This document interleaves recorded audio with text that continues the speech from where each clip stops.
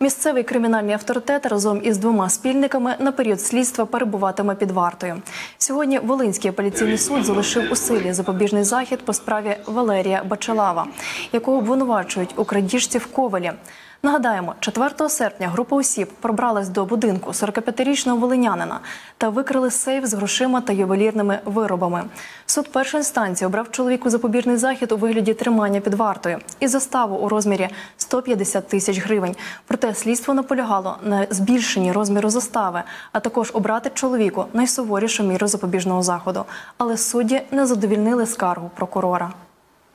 Апеляційну скаргу прокурора відділу обласної прокуратури СМАГи залишити без задоволення, а ухвалу слідчого судді Луцького міськрайонного суду Волинської області від 6 серпня 2021 року щодо Вачелави Валерія Михайловича без змін. Щодо спільників чоловіка Юрія Канарського та Василя Душана, суд також залишив рішення Луцького міськрайонного суду без змін.